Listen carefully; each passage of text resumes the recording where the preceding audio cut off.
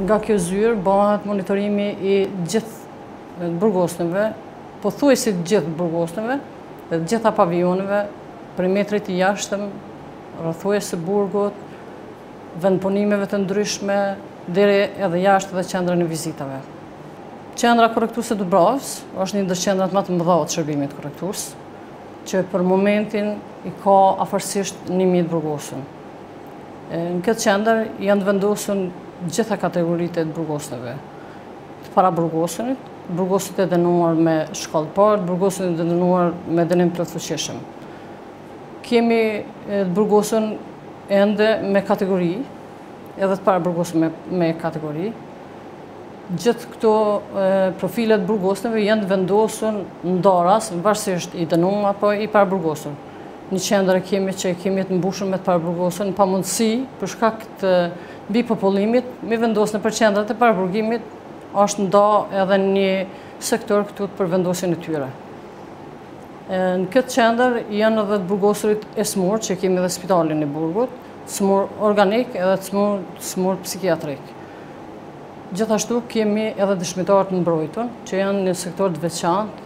Përpos këtyne të burgosunve, i kemi edhe një numër të burgosunve që janë të kategorizuar me rrezikshmëri të ulët dhe janë të vendosur në pavionin gjysmë të hapur që ne e thrrasim, edhe janë lirsh të lirshëm, edhe në aktivitetet e tyre ditore, siç është shëtitja sportive, po gjatë tërë ditës punojnë dhe në mbrëmje janë të vendosur aty. Çfarë resursesh keni si shërbim korrektues këtu në Dubravë për me mrri nivelin e sigurisë që është i nevojshëm? Në qendrën korrektuese të Dubravës janë rreth 650 anëtarë të stafit. 530 prej tyre janë të uniformuar.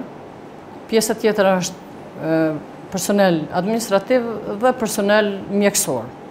Për momentin kishim pas nevojë të kemi staf edhe Edhe më shumë, për shkak se një pjesë e stafit që ekzistues, është ndarë në sektore tjera, që nuk është planifiku për shembull edhe pavioni i dëshmitarëve të mbrojtun, një pjesë e stafit është dashtë me kalu andej.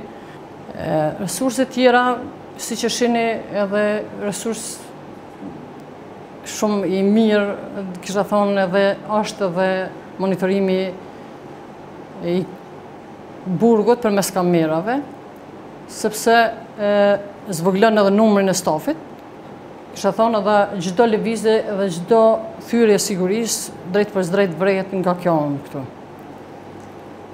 Nevojat janë që përpos kësaj pjese që është e monitoruar nga kamerat, të vendosin kamerat edhe në ato pjesë që ende nuk kemi mbërri me vendosë. Z. Berisha, ka pasë vazhdimisht ankesa për kushtet të cilat ofrohen për të burgosurit në Dubravë. Çfarë kushtesh gëzojnë dhe sa gëzojnë të drejta të burgosurit që e vuajnë dënimin apo mbahen në fazën e paraburgimit në Dubravë.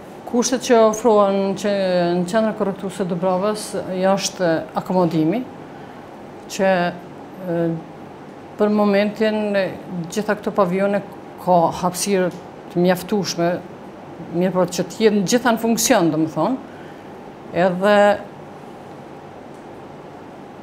është tjetër janë për shembull ushqimi, është i begatë me tri shujta, dhe është përkujdesja shëndetësore, kalimi i kohës nëpër hapsira të lira, domethënë, ju ofrohen kushtet me, me kalu në hapsirë të lirë, për shembull në shëtitje dy ose tri herë gjatë verës, mrena ditës, aktivitetet sportive ku i kemi edhe sallat, edhe fushat e jashtme, edhe kemi edhe sallat mbrena ku të burgosunit i zhvillojnë këto aktivitete, vizitat që të burgosunit i zhvillojnë, më pastaj janë pranimi i pakove përmes vizitave, është korrespondenca, në korrespondencë përfshihen shkëmbimi i letrave, domethënë mundësimi i mbajtjes domethënë me radio, me televizione nëpër dhoma, me gazeta ditore që burgu i ofron edhe mundësinë që e kanë dhe ata vetë për me pasë domethënë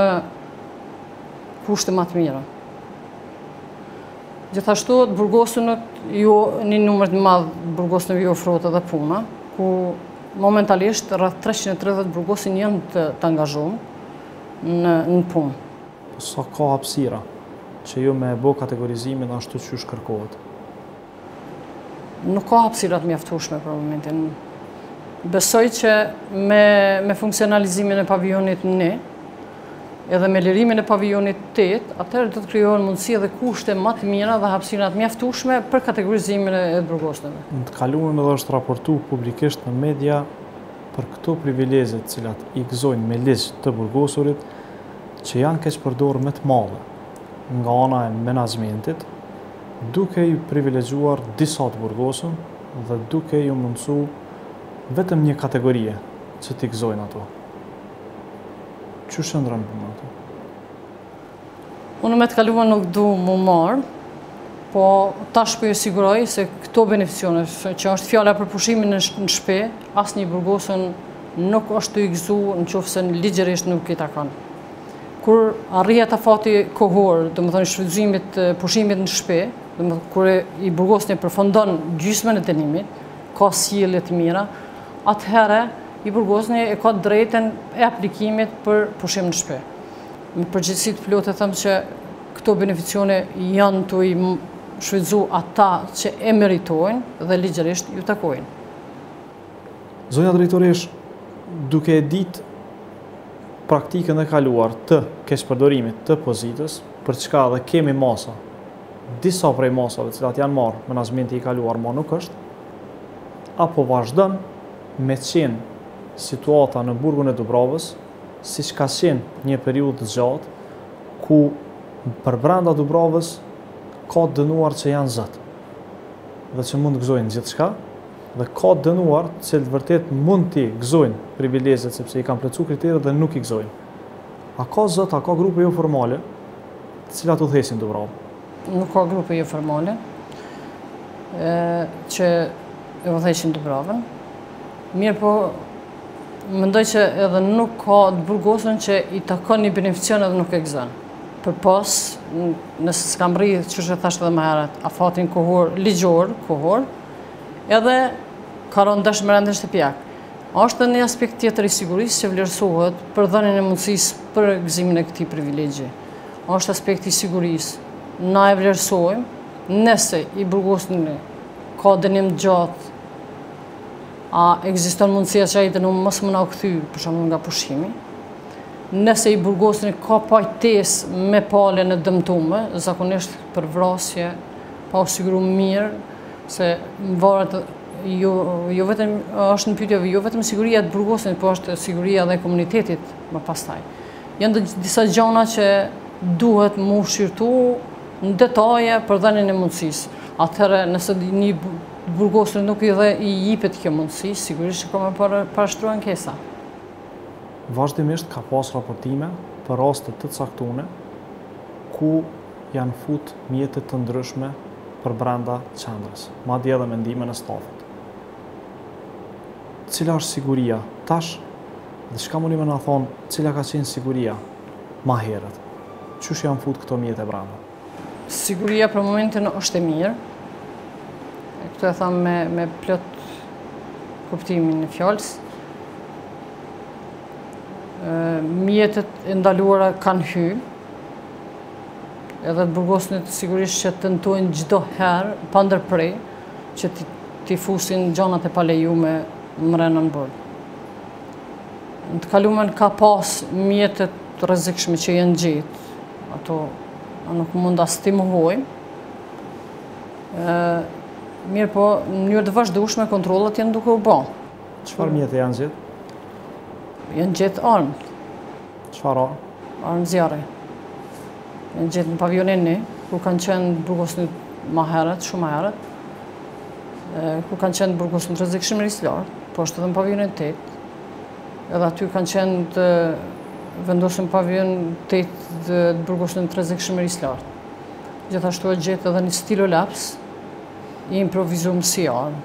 Cilat janë mjetet tjera të ndalune dhe të rrezikshme cilat janë një... Mjetet tjera të ndalune dhe të rrezikshme mundet me qenë edhe një thikë, për shembull nëse tentohet të futet, është mjet i ftoft, mirëpo shumë i rrezikshëm.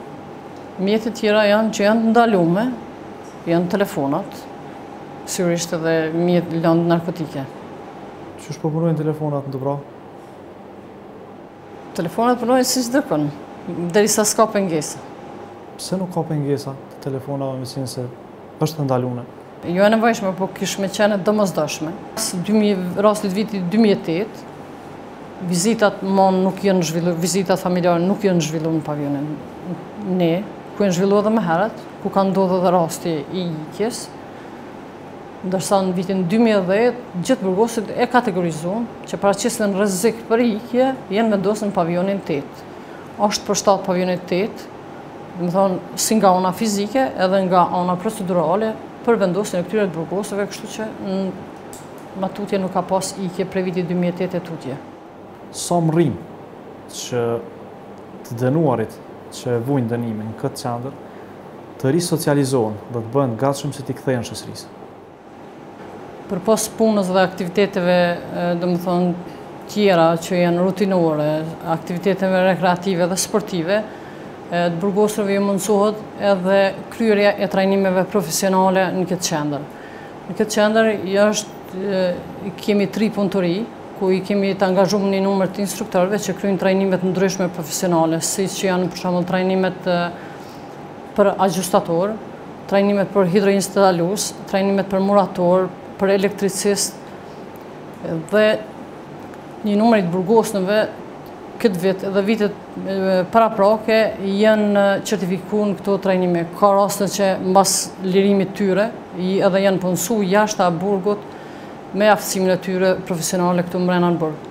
Përpos aftësimeve profesionale, I kemi edhe shkollimin e mesëm në këtë qendër korrektuese. Për momentin janë mbi afërsisht 100 të dënun që e vijojnë shkollimin e mesëm këtu, në këtë qendër korrektuese. Kjo shkollë e qendrës korrektuese është pjesë e shkollës mesme teknike në Istog. Këtë vit i kemi pas 21 maturantë, edhe që Gjithë e kanë kry testin e maturës, ka qenë një sukses i madh.